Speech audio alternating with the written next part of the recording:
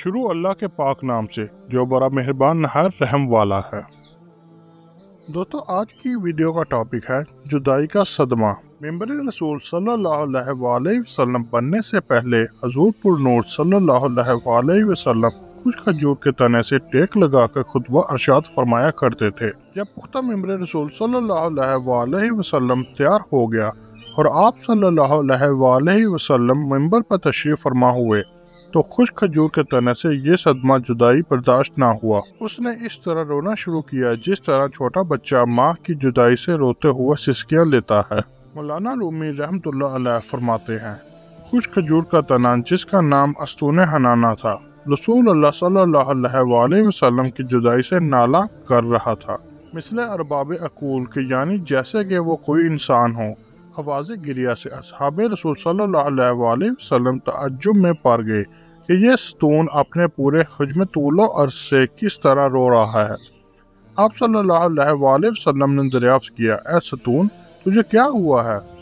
इसने अर्ज़ किया, या रसूलुल्लाह सल्लल्लाहु आप अलैहि की जुदाई का सदमा मुझसे बर्दाश्त नहीं हुआ। आप सल्लल्लाहु अलैहि की जुदाई से मेरी जान अंदर ही अंदर जल रही है। इस आतिश गम के होते हुए आप वसल्लम के फराक में क्यों ना आहो फगा करूँ?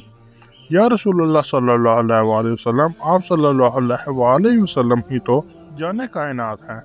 आप सल्लल्लाहु पहले मुझसे टेक लगाते थे, अब मुझसे अलग हो गए हैं और मेरी जगह दूसरे मेंबर पसंद फरमा लिया है।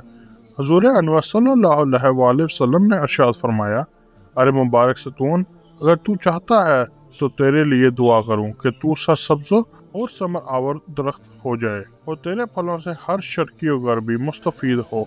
और क्या तू हमेशा के लिए तरोताज़ा होना चाहता है? या तू फिर आलम आखरत में कुछ चाहता है?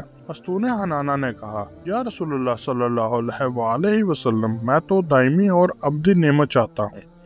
मौलाना रूम रहमत फरमाते हैं ए गाफिल तुम्हें इस लकड़ी से सबक लेना चाहिए कि तुम इंसान होकर दुनिया फानी पर, गर्विदा और आखरत से रू करता हो। जबकि अस्तून हनाना नियमत दायमी को नियमत फानी पर तरजीह दे रहा है। तर्जमा, फिर इस सतून हनाना को ज़मीन में दफन कर दिया गया, ताकि मिस्र इंसानों के रोज़े जजा इसका हशर हो।